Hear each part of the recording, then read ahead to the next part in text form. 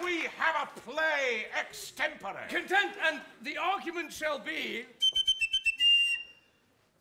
thy running away. Oh, no more of that, Hal, thou loves me. Oh, Jesu, my lord, the prince! And now, my lady the hostess, what sayest thou to me? Marry, my lord, there is a nobleman of court at door would speak with you.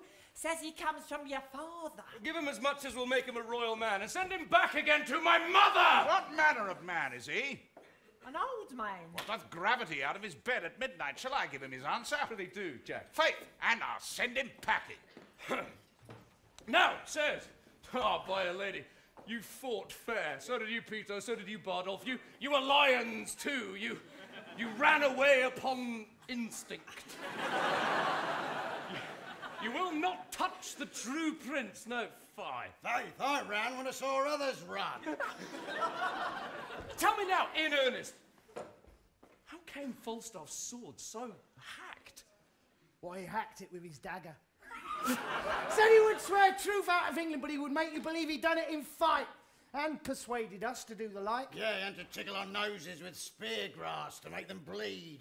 And then to beslubber our garments with it and swear it was the blood of true men. I did that, I did not this seven year before. I blush to hear his monstrous devices. Villain. Thou stolest a cup of sack 18 years ago and wert taken with the manner, and ever since thou hast blushed extempore. Thou had sword and fire on thy side, and yet thou ranst away. What, what instinct hadst thou for it? My lord, do you see these meteors? Do you behold these exhalations? I do.